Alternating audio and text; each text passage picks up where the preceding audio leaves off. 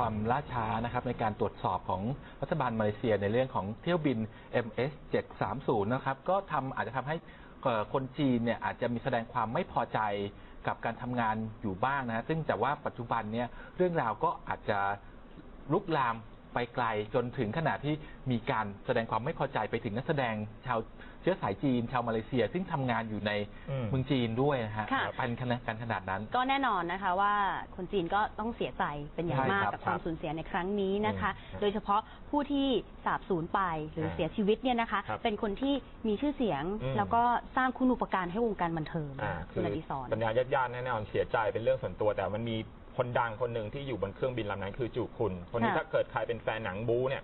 ต้องเห็นคุณผลงานแน่นอน เพราะเขาอืมเป็นสตันท์ของเจ็ตลีอืม อ่าอ่าหลีลินเจียนี่เองมีผลคนเนี้ยฮะ คืออ๋อก็คล้ายๆนะดูไกลๆนี่ก็คล้ายอยู่ อ่าฮะ ก็คือเขาเนี่ยเคยฝากผลงานให้กับเจ็ตลีหลายเรื่องเลยที่น่าจดจำอย่าง Fearless อืมอ่าที่เห็นตอนเปิดไปฮะแล้วก็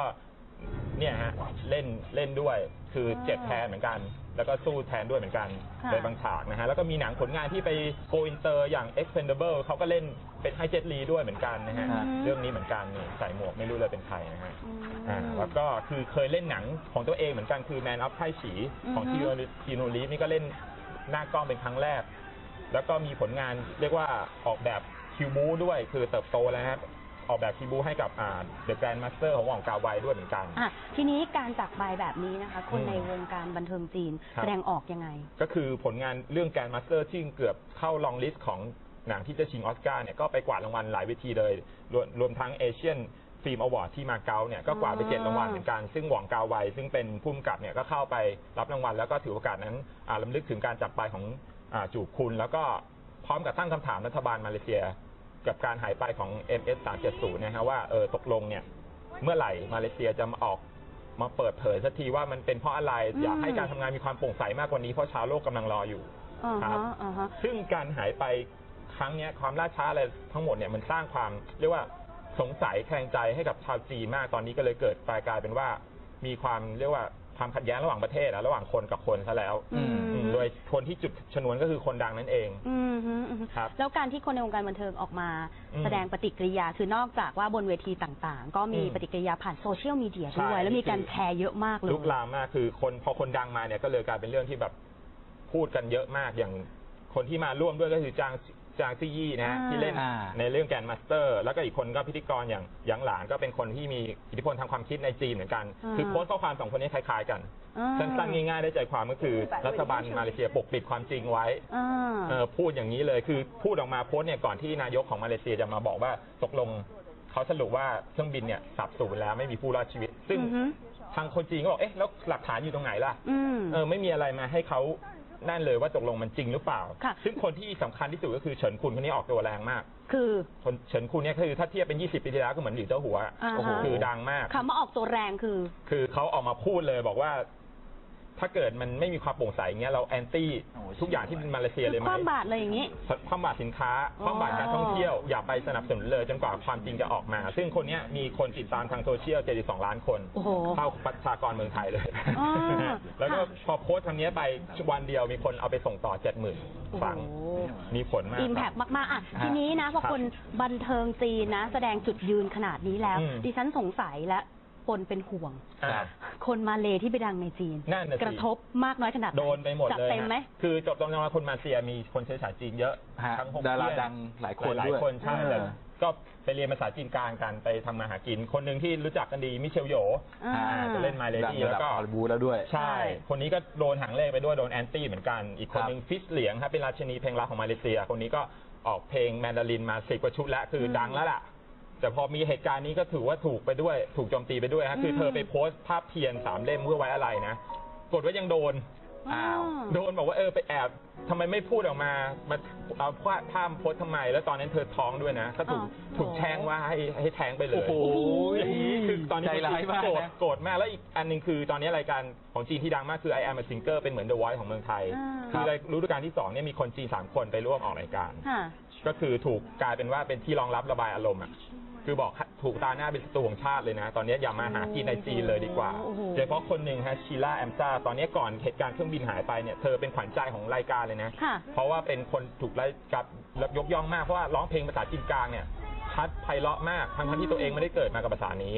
อ่าแต่พอหลังจากนั้นเนี่ยประกอบมีเหตุการณ์เนี้ยชีวิตเปลี่ยนชีวิตเปลี่ยนฮะเธอถูกโหวตมาเป็นรองรองบวยในรอบรองชนะเลิศไม่พอถูกแฟนคลับซ้ำเติมอีกบอกสมควรแล้ว โอ้โห คุณไม่ควรอยู่ในประเทศนี้กลับไปเถิด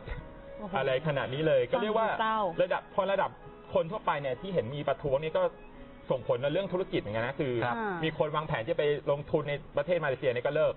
อืมอ๋อบางคนบอกจะไปเที่ยวนี่เปลี่ยนมาเที่ยวเมืองไทยแทนอ๋อถ้าอย่างนั้นซึ่งอ่าฮะคงไม่ได้อ่าฮะดีใจไปด้วยนะ อ่าฮะแล้วก็มีอันนึงมีข่าวลือครับ ตอนแรกจะมีการนำหมีแพนด้าเนี่ย ค่ะ ไปให้กับมาเลเซียทางจีนเนี่ยจะไม่ให้คู่หนึ่งเลยเฟงยี่กับฟูวา อะไรยังไงจะไม่ให้ คือ คือตอนแรกว่าจะไม่ให้หรือเปล่าทั้งจริงจะให้เนี่ยสัมพันธ์40ปี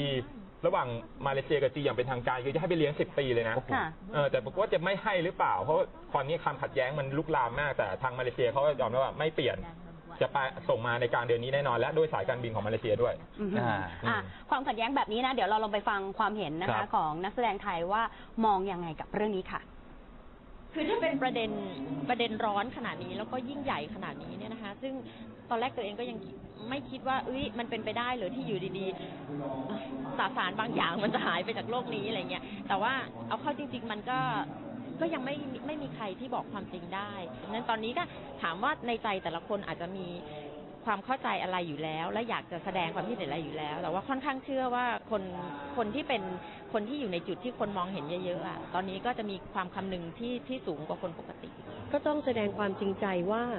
เราไม่ได้ปรารถนาให้เหตุการณ์อย่างนี้เกิด และต้องยอมรับว่าถ้าเขาจะตีโพยตีพาย หรือมีอารมณ์